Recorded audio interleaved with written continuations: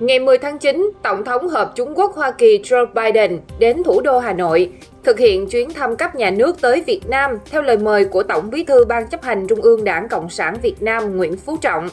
Tháp tùng Tổng thống Joe Biden có Ngoại trưởng Antony Blinken, Đại sứ Hoa Kỳ tại Việt Nam Mark Knapper, Cố vấn An ninh Quốc gia Jake Sullivan,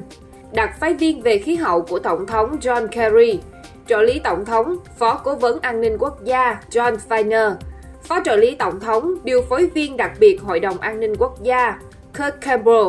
trợ lý ngoại trưởng Daniel Greitenbrink, cố vấn đặc biệt của tổng thống, giám đốc cao cấp Hội đồng An ninh Quốc gia Miro Hooper, cố vấn đặc biệt của tổng thống, giám đốc cao cấp Hội đồng An ninh Quốc gia Tarun Chopra,